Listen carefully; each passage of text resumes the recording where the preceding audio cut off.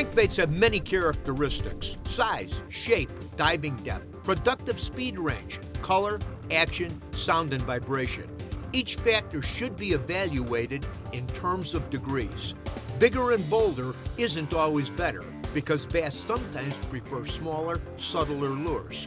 Lures that run deep aren't necessarily best, particularly when the bass are shallow. And sometimes a certain lure profile or color pattern could be hot.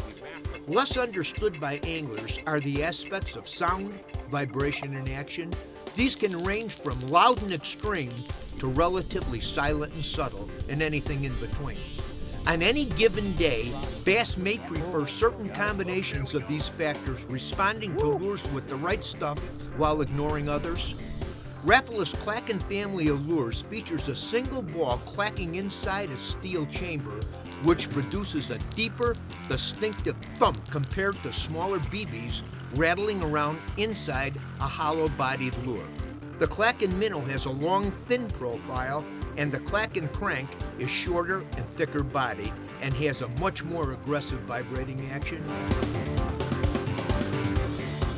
Experiment with both and let the fish tell you which one they prefer on any given day.